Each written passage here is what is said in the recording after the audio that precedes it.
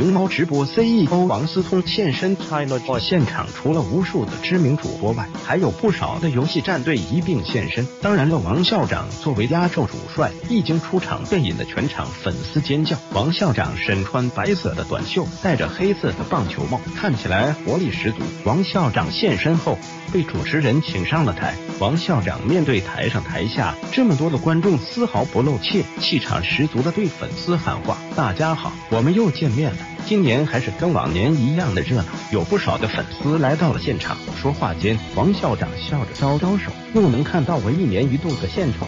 不过，王校长腕上的手表倒是十分抢镜，整整价值六百万。不得不说，王校长确实阔气，玩游戏还不忘晒名表。游戏结束之后，王校长身边又是美女常伴左右。从二零一五到今年，连续三年时间，王校长一直参与游戏赛事，年年抢进了全场风头。和一众的网络主播们和赵刘颖，不愧是网红收割机啊！王校长自从回国干起事业之后，身边总是不不乏各种网红美女相伴。作为半只脚踏进娱乐圈的王校长，历来敢说敢做，也从不会因为外界的一些言论而忍让半分。不过不得不承认，王校长的商业头脑确实过人，除了富二代的身份，更是年轻有为的 CEO。